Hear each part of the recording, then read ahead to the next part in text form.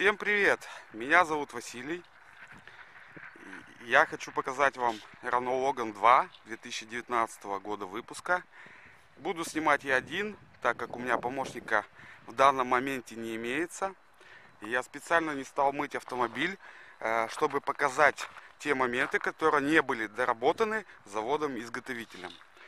Сначала я хочу показать вам подкапотное пространство, э, что же там имеется и прочее, прочее расскажу далее. Итак, э, открыли мы крышку моторного отсека и что мы видим? Э, газ-лифт. Нету уже этой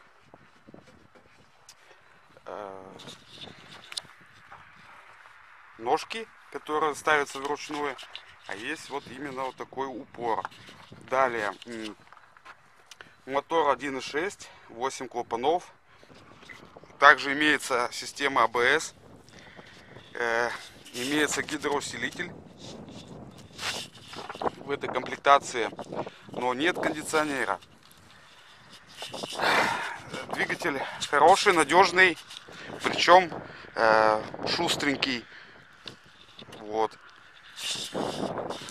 Э, конечно, есть такие вот моменты, вот пятна видно, и вот блок э, управления, э, электронный блок управления, он поставлен совсем не в, так, в таком нехорошем месте, что его закидывает грязью и прочее, и влажности имеется здесь как расположен он не совсем удачно. Итак, перейдем э, к внешнему осмотру автомобиля. Начнем с крышки моторного отсека. Вот видите, какая грязь. Неужели нельзя было сюда резиночку какую-то сделать? Сюда, вот так, вдоль, вдоль всей ширины вот этого крышки, крышки моторного отсека. Вот посмотрите, какая грязь. Также здесь имеется грязь э, на этих элементах. Не понимаю, как же так. Так, пойдем дальше. Открываем дверь водительскую и смотрим. Здесь также присутствует именно та же грязь. Также отсутствует какая-то уплотнительная резиночка. Здесь не знаю почему пожалели денег что ли на это на это дело. Также это присутствует на всех четырех порогах с четырех, четырех дверей. Такая же грязь имеется. Вот это все недоработки э, завода, что очень тоже крайне неприятно. Вот это я хотел показать основное именно потому, поэтому я и не мыл автомобиль.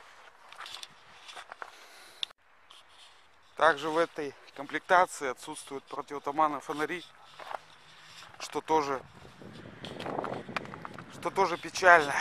Вот. Но в принципе фары э, освещают очень хорошо. Оптика хорошая, мне нравится. Причем есть ходовые огни, Сейчас я включу и продемонстрирую вам.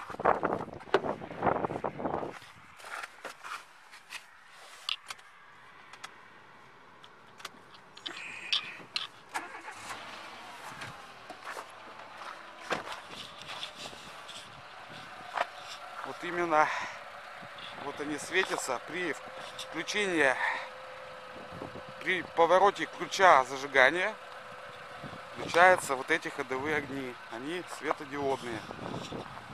Также имеются колпаки, что тоже радует, причем хорошие. Мне вот они нравятся.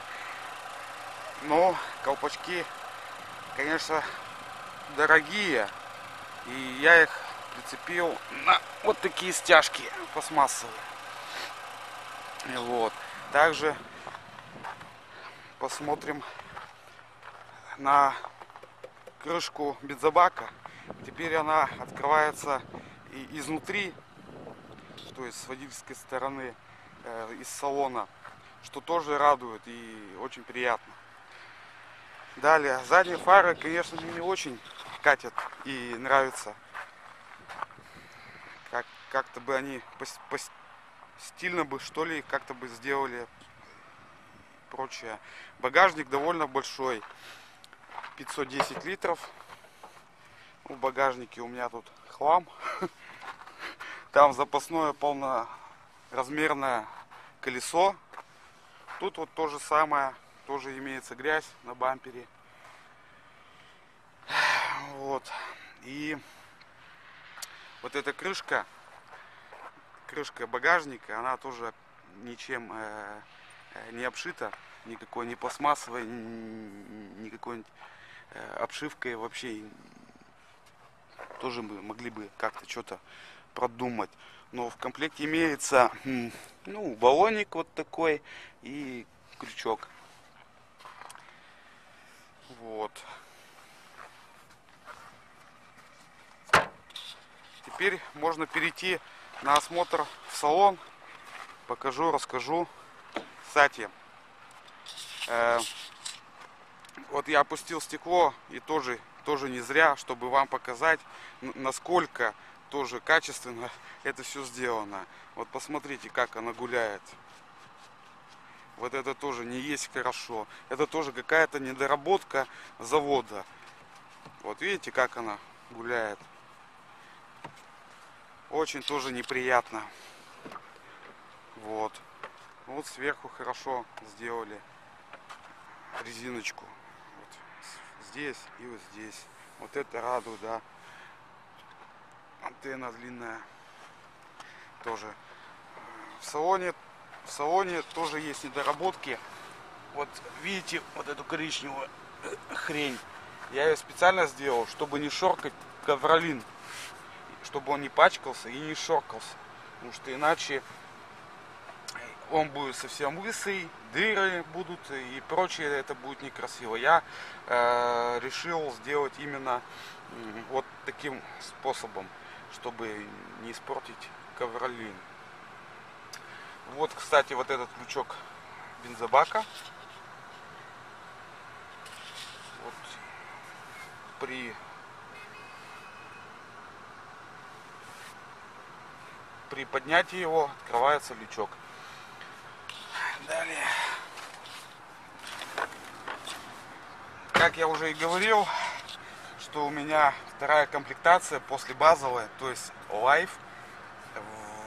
В ней э, присутствуют э, две подушки безопасности, что у пассажира, что у, с, у с водительской стороны.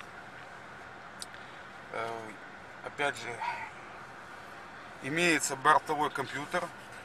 Я тоже вот иной раз удивляюсь над э, производителями, Э, в базовой комплектации нету эм, э, датчика охлаждающей жидкости.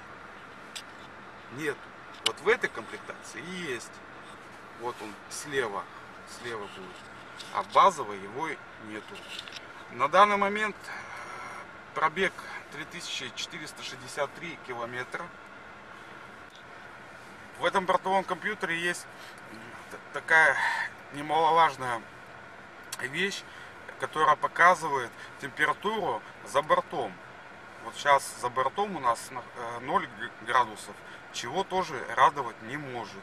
Но опять же, этот эм, вот этот э, датчик, который показывает температуру, он стоит в правом, в правом зеркале. И при открытии окна, мало ли кто-то покурить захотел, либо еще что-то, э, из салона выходит тепло, и он начинает просто-напросто горать. Также расположение кнопок по стеклоподъемникам э, в дверях, что тоже удобно, нежели на предыдущем Логане было. Но вот здесь э, два стеклоподъемника, только передние, электрические. Еще бы хотел отметить э, центральный замок, что есть кнопочка, это хорошо, но на, на нее нажимаешь и можно открыть с, это внутренней стороны дверь, что тоже не очень хорошо. Что еще хорошо в этом автомобиле? Я смотрел комплектацию Лады Гранты, Лады Весты, э, смотрел э, базовые именно комплектации и даже и вторые смотрел. Но вот в базовой комплектации э, имеются подголовники только у Логана. Вот они вот молодцы, думают о, о пассивной безопасности людей, которые находятся в этом автомобиле.